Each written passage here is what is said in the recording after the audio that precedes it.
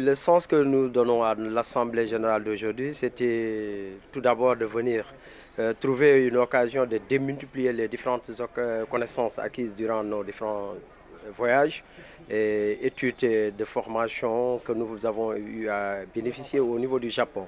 Et d'en profiter, d'échanger avec aussi nos compatriotes sénégalais à l'intérieur du pays, dans les 14 régions, et de venir partager avec des expositions, surtout sur le plan scientifique et mathématique. On va y arriver à plus de 5000 Sénégalais qui ont eu à bénéficier de ces, formations ou bien ces stages au Japon.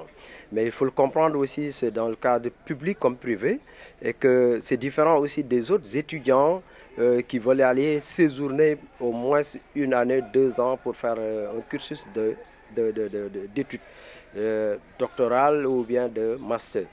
Et là, c'est dans le cadre du renforcement de la capacité aussi des ressources humaines sénégalais euh, dans tous les domaines, euh, principalement le domaine de l'éducation, le domaine de la formation, le domaine de la santé surtout, et l'agriculture, euh, tout à l'heure, euh, Madame Lacosidé parle de l'érosion côtière. Tout cela aussi dans le domaine de l'assainissement et de l'environnement.